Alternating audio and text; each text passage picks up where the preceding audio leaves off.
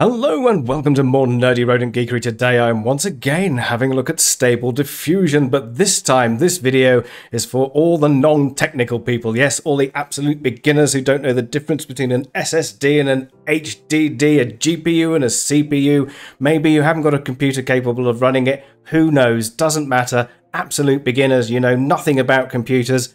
This one is for you. Now, there's only one URL to know, and that's down in the description. So you can click that, and that will take you straight to this website. The very first time you get there, it will look like this. Log into Dream Studio to continue to Stability AI. So you can sign up by clicking that link there. You can click sign up, and that will take you to there, and and you can you know enter an email address so you'll have to have an email account and all that sort of stuff or what i'm going to do is i'm going to continue with google so if you've already got a Google account. Maybe you have Gmail or something like that, then you can carry on with that. So I'm, I'm going to carry on with that. There. There we go. Fantastic. All right, that'll only take a few seconds, and then I have to authorize the app. Hi, Nerdy Rodent. Stability AI is requesting access to your Dream Studio account. Okay, and you can either accept or decline. Obviously, if you decline, then you can't use it. So I'm going to click accept and that will get me in. Excellent. Here, so here I am. Welcome to the Dream Studio Open Beta. Dream Studio is a front end and API to use the recently released Stable Diffusion image generation model. Core, fantastic. It understands the relationship between words to create high quality images in seconds of anything you can imagine. Just type in a word prompt and hit dream. Yeah? Yeah, okay. So let's let's let's do this. Obviously, you can you can read the rest of that. The safety filter is activated, so you know it, it may come across with some images that aren't quite what you'd expect. But uh, yeah, yeah. All right, so we've got loads and loads of things going on here. We've got a menu here over on the left, Dream, that's where we are now, History, a prompt guide, Social, and an FAQ. So if you really don't know what's going on, there's there's all sorts of things going on there about the FAQ. So probably worth reading that. So is there a copyright in the images? How do I upscale an image? You you can't. Uh, can I invite others and all that sort of thing? So I, am inviting you. Come and come and join Dream Studio. Come and do things. All right. Anyway, so let's go back to the dream. Right. Okay. So we've got the dream. We've got a few things over here. We've got the width there. So how big can you make it? And you can make it very big. 1024. I'm going to stick with 512 by 512 because why not?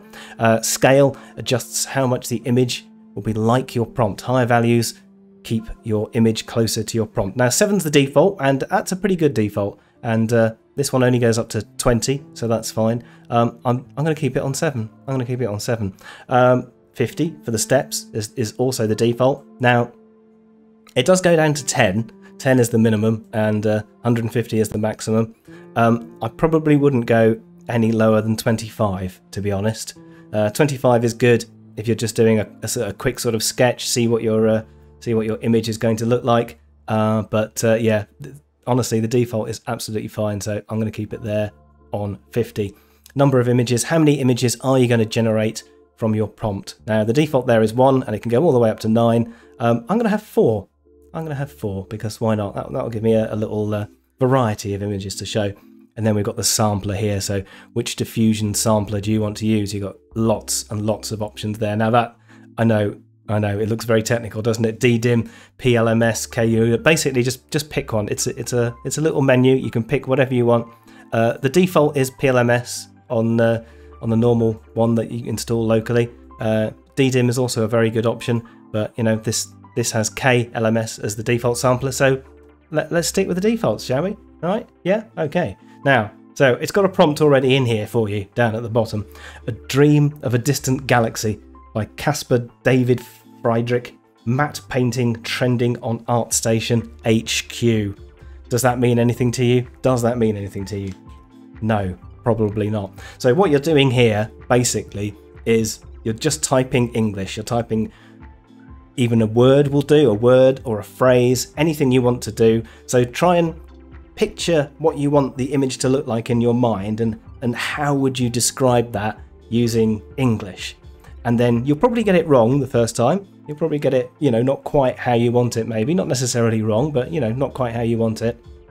So you can evolve from there. You can, right, you know, you'll, you'll have a look at the pictures it generates and go, ah, okay, so th this is how I want to change my prompt somewhat. So let's let's start down here. So let's just have a photograph of a very cute and nerdy pet rodent.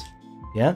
Then you just click the dream button, and in a few seconds, as you can see, it's going up there very, very quickly, you will have four images of photograph of a very cute and nerdy pet rodent. And you're like, wow, wow, that's pretty cool. That's pretty cool.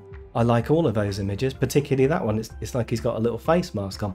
It tells you the seed there, so you can download it as well. So if you want to download it, you can just click on that and then, yeah, and you can save it. That's fine. All right, there we go. We'll save that one there. I've got it saved. I've got it saved. But as you can see, all these rodents have a, a few extra hands. Yeah, so something like that will happen. And uh, maybe maybe you didn't want a photograph. Maybe you didn't want a photograph. Maybe maybe maybe you wanted a drawing of a, a very cute and nerdy pet rodent. And maybe you wanted him wearing a hat. So you can say wearing a hat. Yeah?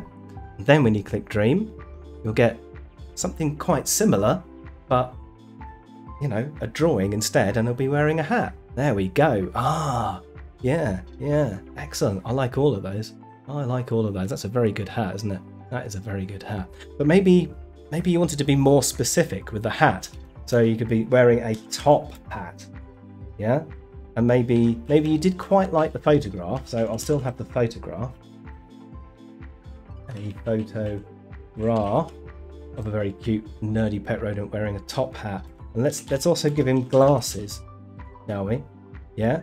And also maybe sitting on a park bench. Yeah? How about that? How about that? So we'll get all these different things. We'll get the photograph style as well. So you may want to mix styles of things, you know, photographs, drawings, cartoons, illustrations, and you see one one there is in, you know, not in color, whereas all the other ones are. So you might have to specify color if you start getting lots of things without color in. But there he is. He's wearing a top hat and glasses and sitting on a park bench. So there you go. Absolutely so simple to use. Really, really easy. beta.dreamstudio.ai. Just log in, type the prompts. You don't you don't even have to change any of these things on the side if you want to, and you are creating images and downloading in seconds. So there you go absolute beginners. Anybody can use this. You can use it on your tablet, you can use it on your computer with whatever GPU it is that you've got, even if you don't know what a GPU is. So there you go. Dream Studio, Stable Diffusion. Have fun. Rodents out for now.